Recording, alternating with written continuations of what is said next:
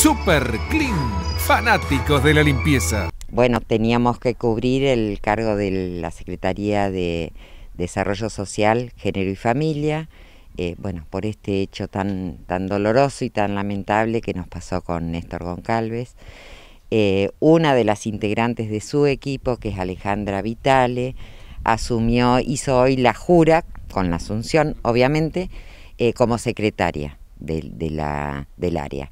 Eh, va a trabajar con el mismo equipo con el que se venía trabajando, o sea, es una integrante de este equipo la, quien asumió con, con esta responsabilidad. Así que bueno, sí, por supuesto, fue muy emotivo, este, doloroso, pero, pero tenemos que seguir adelante y, y bueno, consideramos que ya era momento para, para el reemplazo que teníamos que dar.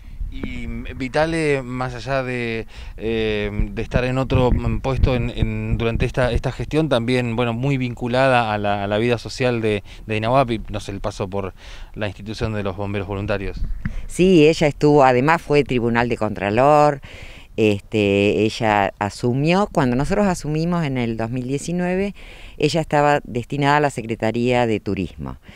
Y después, por la pandemia, este, muchos de los integrantes de las secretarías que tenían menos actividad eh, ayudaron en desarrollo. Y llegó un momento en que el, secretario nos solicitó que ella permaneciera en la secretaría, digamos, por todo, todo su trabajo y todo lo que había aprendido y todo lo que podía aportar.